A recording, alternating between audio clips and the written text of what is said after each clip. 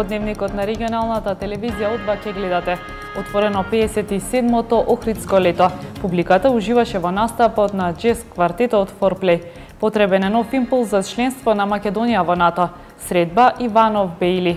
Македонија главна тема на трилатералната средба на која немаше наш представник. Од вкупно 194 милиони евра грант наменет за развој на инфраструктурата во Западен Балкан, земјава доби 70 милиони евра. Добрососедскиот договор со Бугарија се уште енигма за македонската јавност. ВМРО ДПМН е бара апелациониот суд да покаже професионалност. Едно лице загина во сообраќајна несреќа на локалниот пат во селото Брежани во општина Дебарца се удави 80 годишен прилепчанец. Немилите настани се случуваат на плажите каде нема спасувачи, били председателот на Обштинската организација на Црвениот крст од Охрид Сашо Точков. Се обновува покривот на камбанаријата во црквата Света Богородица Каменско. Револт на струмичките бостанџи ескалирани, блокирани регионалните патишта. Ова се само дел од настаните кои ги обработувавме. Покрај нив и избор на вестите од светот и спортот. Започнуваме со трите настани кои што го одбележа денешниот ден.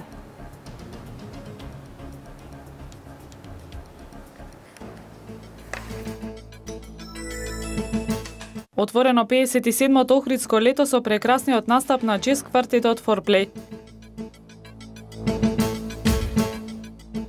Да се користат само безбедни капалишта, апелираат од Обштинската организација на Црвениот крст од Охрид.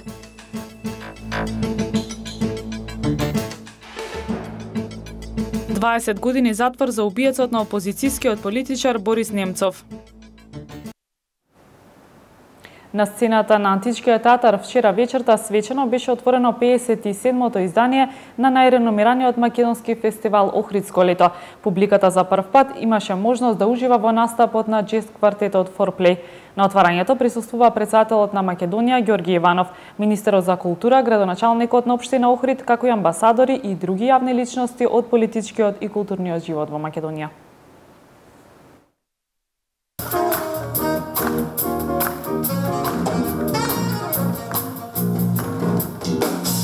Со прекрасниот настап на реномираната джез група Форпле во придружба на Македонската филхармонија синојка започна 57-то издание на Охридско лето.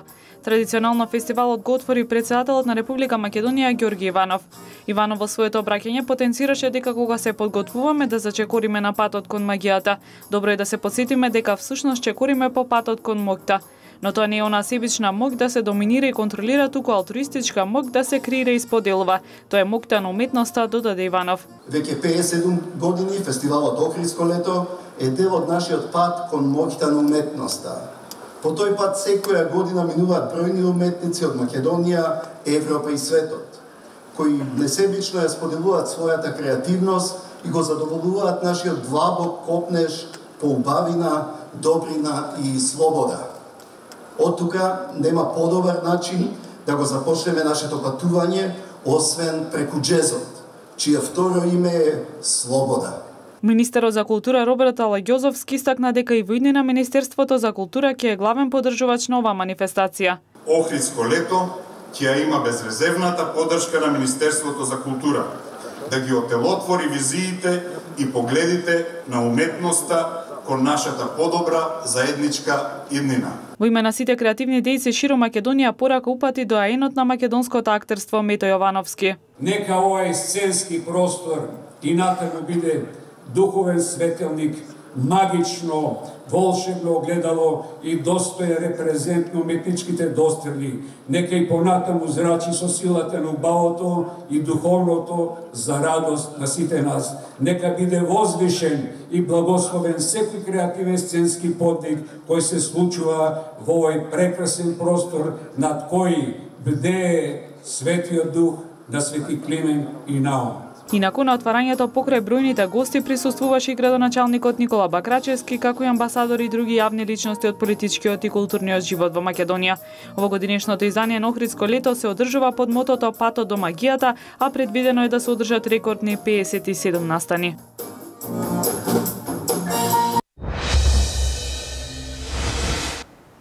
Председателот на Република Македонија Ѓорги Иванов денеска во вилата Билјана во Охрид го прими амбасадорот на Соединетите Американски држави Джез Бейли. На средбата се разговараше за развојот на билатералните односи меѓу Република Македонија и Соединетите Американски држави, за состојбите во врска со европската и евроатланската перспектива на Република Македонија, како и генерално за состојбите во регионот на Југоисточна Европа. Председателот Иванов изрази очекување дека ќе продолжи американската поддршка и ангажманот во однос на надворешно политичките цели и приоритети на Република Македонија, интеграција во НАТО и во Европската Унија, унапредувањето на добрососедските односи и продлабочувањето на регионалната соработка.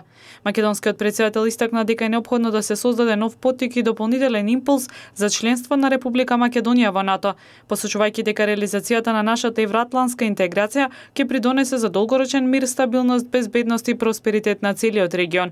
Двајцата соговорници разменија мислења за соработката во полето на безбедноста и на одбраната преку реализација на заеднички обуки и вежби за припадниците на армијата и војската на САД. Во тој контекст беше поздравено учеството на армијата на Република Македонија на мултинационалната вежба Сабер Гардиан 2017, а беа разменети мислења и информации за престојната вежба на Арама и армијата на САД во Европа Драгон Рајд која ќе се одржи од 28 јули до 8 август на вој војниот полигон Криволак. Продолжуваме со останатите содржини. Добрососедскиот договор со Бугарија се уште е енигма за македонската јавност. Поранешниот бугарски председател Стојанов вели дека Илинден е нивно второто априлско востание.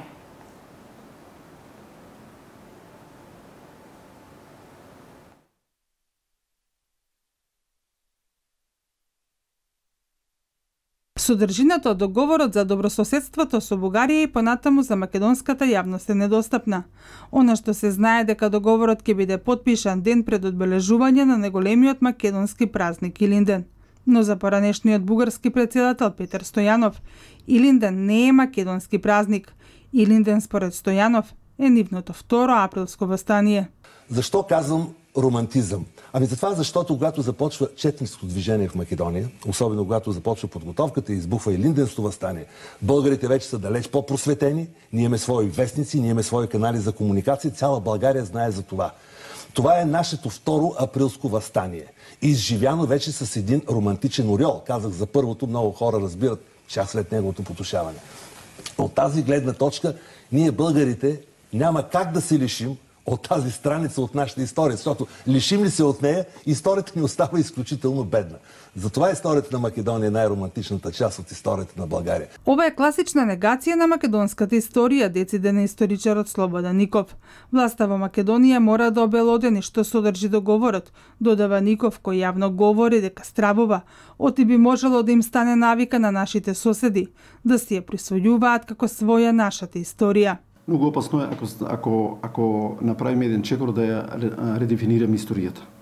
Според мене опасно е тоа. Опасно во смисла а, се плашам а, да не им стане навика на соседите и, и да не биде наметнало дека они биле тие кои што го организирале востанието. А, исходот знаеме како беше од 11-ското востание многу осетлива материја е И додека власта молчи, дел од граѓаните јавно негодуваат. Македонската историја си е наша историја. Не можеме како сака некој си друг, па ние да мењаваме историја. За некои држави постоечки на Балканот имаме заедничка историја, но дека со бугарите не познавам таква. Протениците на ВМРО ДПМН упорно бараат по примерот на нивните колеги во Бугарското собрание и тие во Собранието на Република Македонија да расправаат за договорот со соседна Бугарија. Во продолжение ќе го погледнеме прилогот кој што предходно го најавив за трилатералната средба помеѓу Ципрас, Вучич и Борисов, кој според грчките и бугарските медиуми главна тема е Македонија без представник од Македонија. Македонија главна тема на денешниот состанок на Грција, Србија и Бугарија во Солун на заедничка средба премиерите Алексис Ципрас и Бојко Борисов, како и председателот на Србија Александар Вучик. Иако во најавите стои дека главна тема се инфраструктурни проекти, медиумите во Грција и во Бугарија најавија дека најмногу ќе се разговара за Македонија и за нерешените прашања со Атина и Софија на патот кон евроатланските интеграции. Дали ќе го делат Скопје, трилатерален состанок на Грција, Србија Србија и Бугарија во Солун е насловот под кој што грчкиот весник Пронјус пишува дека целта на денешниот состанок била неутрализирање на изворот на нестабилноста креирана во Македонија. Според порталот Нет, презвесникот пишува дека во овој контекст се размислува дури и за сценарија за поделба на Македонија на три зони на влијание – српска, грчка и бугарска. Скопје се претвори во рана за целиот Балкан, не само затоа што е фокус на дестабилизација, туку и затоа што ја крадат историјата не само од Грција,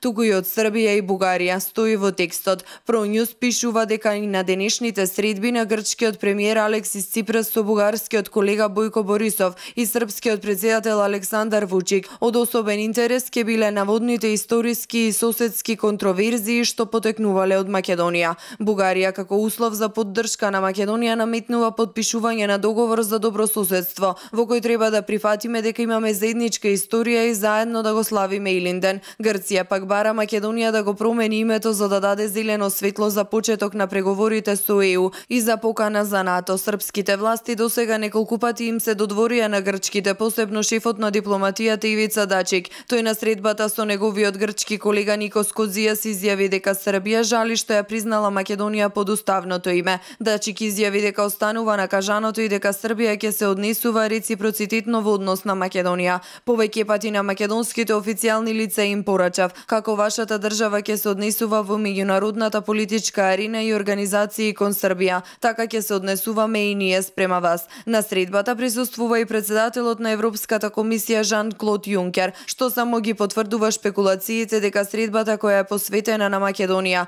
може би е иницирана или најмалку пак поддржана од Брисел.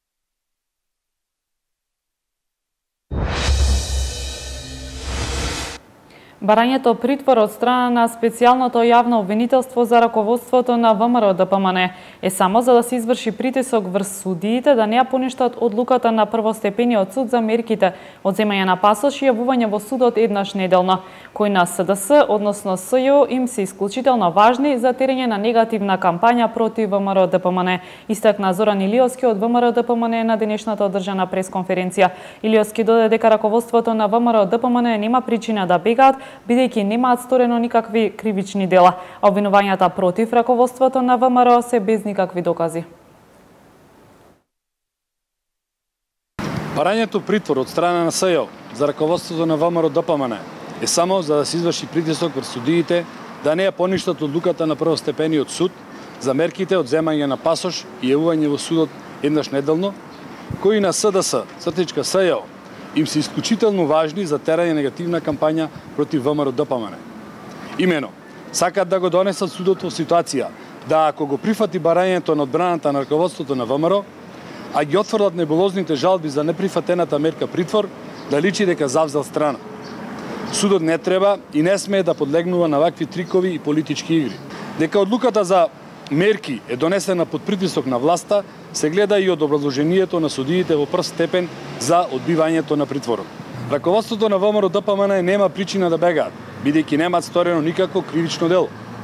Овинувањата против раководството на ВМРО се без никакви докази, празни и чист политички прогон, со цел власта да може порелаксирано да ги исполни дадените ветувања да смена името на државата, името на јазикот, името на нацијата, договор со источниот сосед каде ќе се прифати дека македонската е бугарска историја и ќе се прифати промени во учебниците по историја, како и врските од тиранската платформа.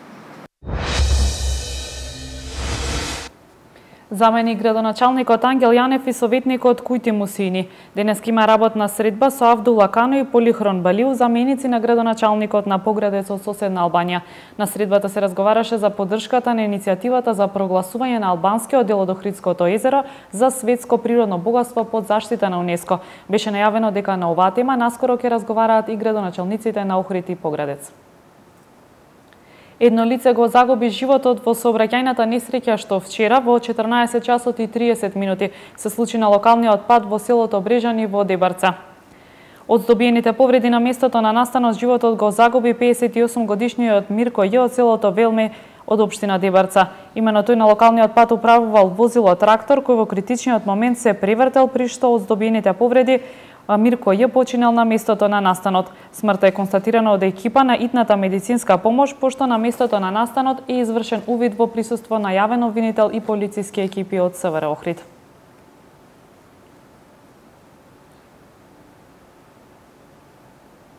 а вчера околу 15 часот и 30 минути во водите на почетокот на плажата Фиеста во туристичкиот комплекс Свети Стефан откриено е безживотно машко тело.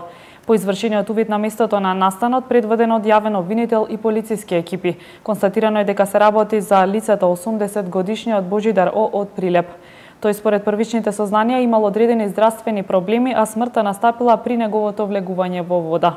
Медицинската екипа од Идната медицинска помош од Охрид констатирала смрт, а на телото на починатиот не се забележани траги на населство. По наредба на јавен обвинител, телото е предадено на обдукција. Преку 50 спасители од Центарот за безбедност на вода при Црвениот крст на општина на Охрид и Црвениот крст од Струга се распоредени по Охридското струшко крајбрежје, вели председателот на општинската организација на Црвениот крст од Охрид Сашо Точков. Во Охрид 30% од плажите се без спасители. Места каде токму се случуваат немилите настани, вели Точков, додавајќи дека во Струга пак 50% од плажите се небезбедни за капачите два месеци однапред. Се подготвуваме и со нови спасители на вода, но и со постоечките ги освежуваме знаењата за вештините за спасување и укажување прва помош. Во моментов се распоредени преку 50 спасители на Охридско-Струшкото крајбрежје од Центарот за безбедност на вода при Црвен крст Охрид и од Црвен крст Струга. Тие се грижат за безбедноста на сега за сега 30 плажи. Остануваат уште неколку плажи и тоа е најголемиот проблем капалишта на Охридското крајбрежје и на Струшкото крајбрежје. Во Охрид имаме 30% од а, плажите кои што не се покриени и не се безбедни за капење, спорт и рекреација и токму овие немили настани со фатални последици случуваат токму на тие плажи каде што нема услови за безбедно капење, ниту пак има соодветни служби кои можат навремено да реагираат. Така беше и случај вчера, кога за жал фатално заврши на плажата помеѓу хотелот Силекс и плажата Метрополис, плажи кои што имаат безбедни услови, имаат спасители, така да мора да реагираат на соседната плажа, но се губи драгоцено време за да се укаже прва помош и за да може да се спаси човечки живот.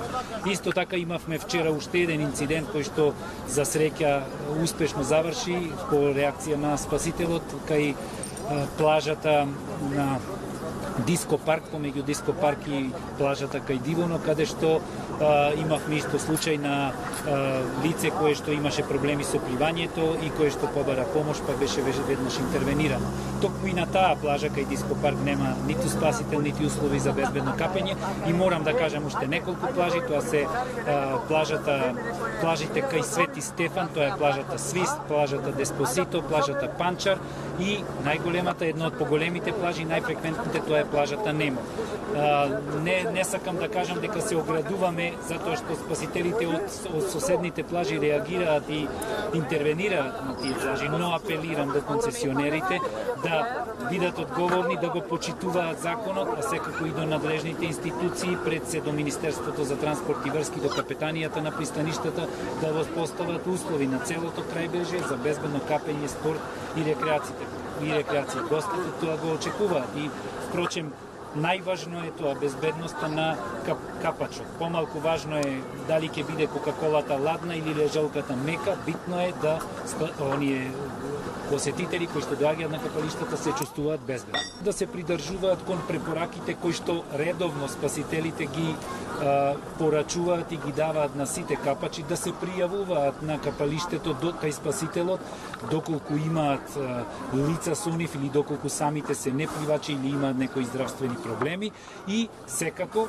она што е најбитно до а, сите кои издаваат реквизити, педалини и кајаци да ги почитуваат правилата, односно да а, даваат а, на да ги изнајмуваат на лица кои што се вични во пливање, кои што ќе добијат елеци од самите нив и кои што ќе ги почитуваат препораките што ќе им ги дадат самите. Секто тоа го правиме и превентивно секојдневно, но на вистина се случуваат посебно а, такви проблеми со а, реквизити за изнајмување на струшкиот дел на струшките капалишта. Почнавме не, не кажав дека во Струга преку 50% од плажите не се безбедни. Она што е апел генерален за сите кои што доаѓаат во Охрид да ги користат само безбедните капалишта. Испративме до Министерството за транспорт и врски, до капетанија и до локалните самоуправи на Охрид, на Струга и на Преспа, каде што исто има наши спасители за кои капалишта се безбедни, кои се небезбедни. Истото тоа го препорачуваме и имаме отворен и сајт и линк и а, достапно е кај нас во Црвениот крст секој што ќе дојде, а сака да се информира каде се безбедни капалишта, тоа може да го направи кај нас, но сепак као онамо каде што се поставени спасители на вода, каде што има служби за укажување на прва помош, тамо се капалиштата безбедни и можат слободно и комотно да се капат, затоа што некој се грижи за нивната безбедност. При крај се активностите за обнова на покривот на камбанаријата и обложувањето на крстот на црквата Пресвета, Успение на Пресвета Богородица Каменско. Отец Дим Чазески вели дека проектот се реализира благодарение на донаторите, а со цел да се сочува тоа што ни е оставено од нашите предци во името и славата на Мајката Божја. Наследството што ни го оставиле нашите предци имаме одговорност не само да го одржуваме, туку да се трудиме истото и во иднина да им го пренесуваме на нашите наследници. Токму затоа треба да почувствуваме потреба да го напредуваме истото, вели отец Димча Азески. Благодарение на донаторите се овозможи реализирање на проектот за обнова на покривот на камбанаријата на црквата Успение на Пресвета Богородица Каменско, вели отец Азески. За таа цел нашите донатори ни дарува лим, кој што е со позлата, а потекнува и изработен во Украина. И на тој начин се трудиме, ете се да обновиме малце покривот и на тој начин да предонесеме за благолепието во самата црква. Се што правиме го правиме во име и слава на мајката Божја вели отец Азески, додавајќи дека на овој начин се трудат на верниците да има возможност да доаѓаат во црквата. Ќе направиме едно ново осветлување на целата црква и од надворешна страна, на тој начин и во вечерните часови да биде така позабележителна и да речам сите луѓе кои што доаѓаат уште далеку да ја забележуваат, бидејќи и самата местоположба е како тврдина која што на сите нас бде и не заштитува всушност тоа и Пресвета Богородица, мајка на сите нас и наша застапница, помошничка и молитвеничка пред Бога. Инако активностите се прикрај досега е завршено поставувањето на лимот на покривот на камбанаријата, а обложен е и крстот. Бостанчиите од Колешино со блокада на регионалните патишта. Денес го изразија незадоволството од годинашниот откуп на Бостанот. Тие бараат од надлежните министри итно да ги посетат во спротивно, се заканија дека блокадите ќе ги проложат и кон граничниот премен со Бугарија.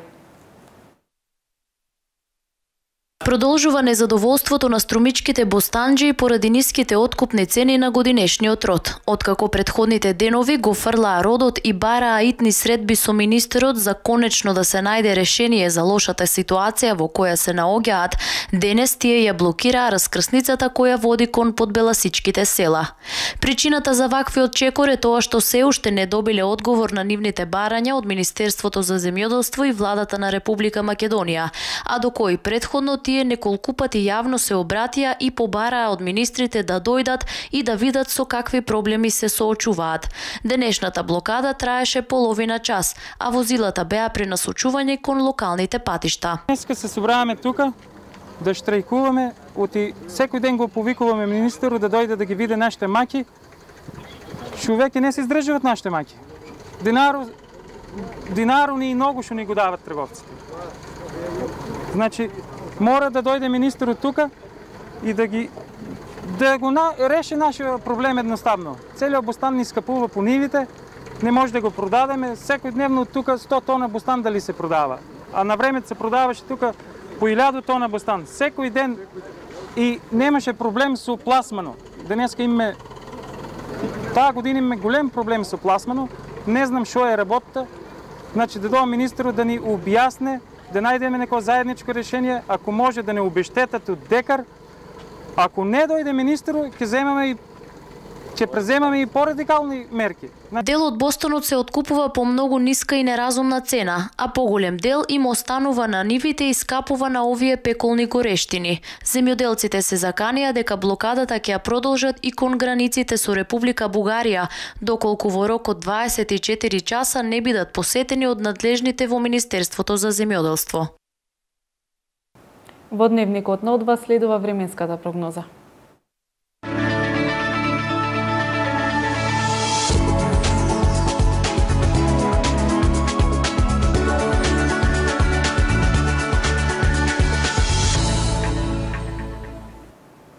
Времето во Македонија сончево и многу топло. Попладне ќе дува северозападен ветер кој на север и вдолж по Вардарието ќе засилува. Притежно во североисточните делови ќе има услови за нестабилност со краткотраен пороен, пороен дожд и грмежи. Утринската температура се движеше во интервал до 20 степени, а дневната од 30 до 39. Ова индексот имаше вредност од 9. Од петок попладне преку ноќта и во сабота времето ќе биде нестабилно со порен дожд, грмежи и повремено засилен ветер, претежно во источните и јужните делови. Во недела во предпладневните часови врнежите ќе завршат, а овој ден ќе биде најсвеж во периодов, со температура која на повеќе места нема да надмине 30 степени. Од понеделник температурите повторно благо ќе се покачуваат.